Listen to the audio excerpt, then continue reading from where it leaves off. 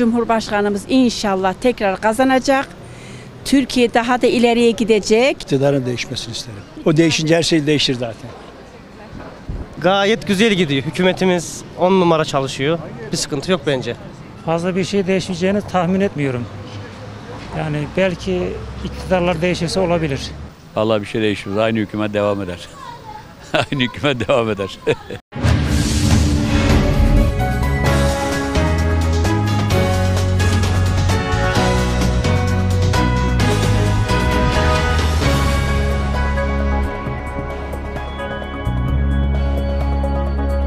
Seçimlerin yaklaşmasıyla birlikte Türkiye'de nelerin değişeceği konusu da merak uyandırıyor.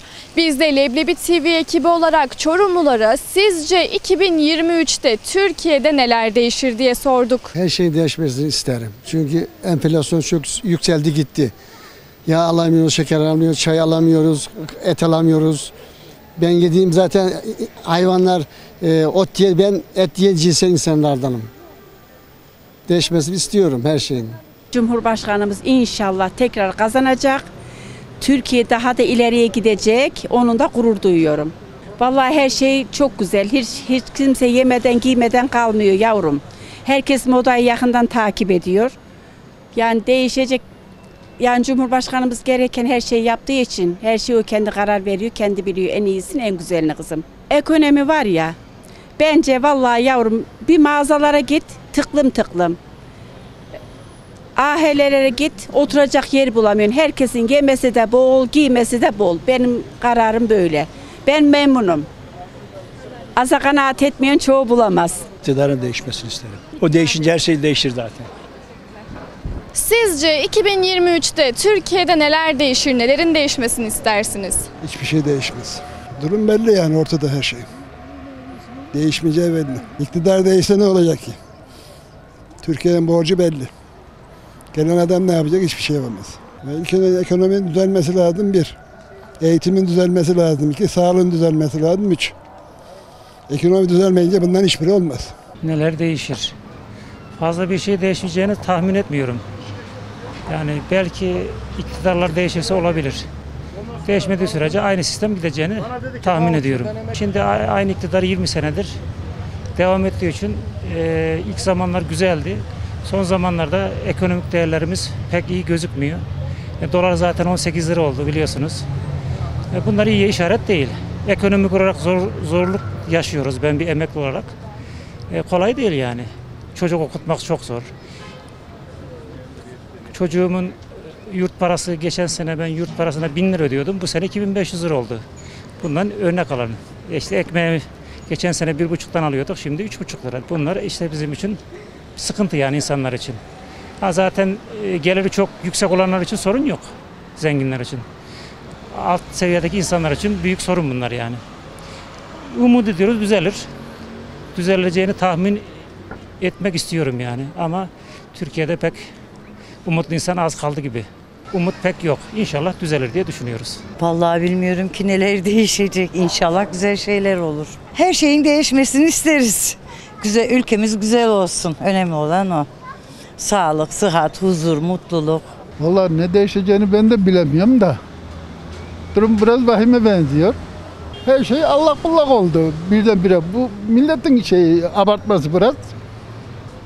Ne olacağını biz de bilemiyor. Düzelmesini istiyor. çok şeyin değişeceğini zannediyorum. Mesela doğal gaz gelirse, ekonomi falan iyi olursa, ne bileyim hayat, geçim daha güzelleşirse, bilmiyorum. Allah bir şey değişmez. Aynı hükümet devam eder. Aynı hükümet devam eder. Daha iyi olmasını isterim ama dünya şartları bunu gerektiriyor. Böyle oluyor. Gene çok ülkeden iyiyiz. Çok çok ülkeden iyiyiz yani. Memnunum. Sizce 2023'te Türkiye'de neler değişir, nelerin değişmesini istersiniz? Ben aklım ermez öyle şeylere. Şu anda 2023'te Çorum'a trenin gelmesini isterim. Ondan sonra hükümetin devam etmesini isterim. Huzur isterim.